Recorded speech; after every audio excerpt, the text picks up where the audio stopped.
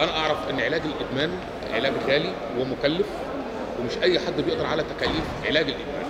طب المدمن الفقير المدمن الغلبان المدمن اللي الظروف رمته في طريق الإدمان لكنه لا يمتلك تكلفة العلاج يعمل إيه؟ طيب بالنسبة للموضوع ده في حاجتين. في أول حاجة الاتجاه الحكومي إن الدولة قدر بتقدر توفر القوات المسلحة مستشفيات آه، لعلاج الإدمان مجانا تماما. ودي عبارة عن في ليها أرقام مختصرة آه، ممكن يتصلوا بيها وبيحجزوا وبيقدروا اللي هم يخشوا يتعالجوا بدون أي تكاليف.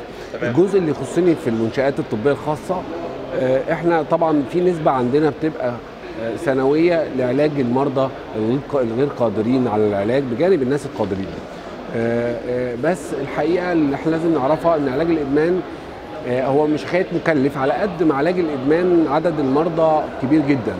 وعدد الأسرة المتاحة من الأماكن الحكومية والأماكن الخاصة ما بتغطيش نسبة كبيرة من من آه، المواطنين المصابين بهذا المرض. فطبعا دي دي اللي بتبقى المشكلة الأساسية اللي هو عدم وجود أسرة للعلاج.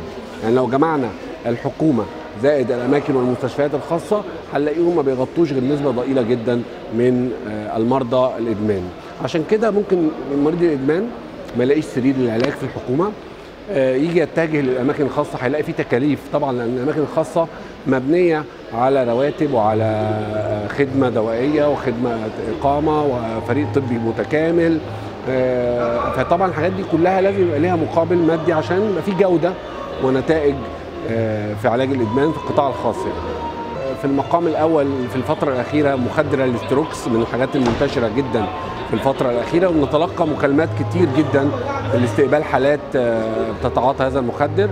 طبعا بجانب الترامادول ومشتقاته من المواد المنتشرة ويأتي برضو الحشيش من المواد آه، الكثيرة الاستخدام في مصر والهيروين طبعا من المواد المنتشرة في مصر. دول يمكن الأربع أنواع الأكثر انتشارا آه، داخل مصر.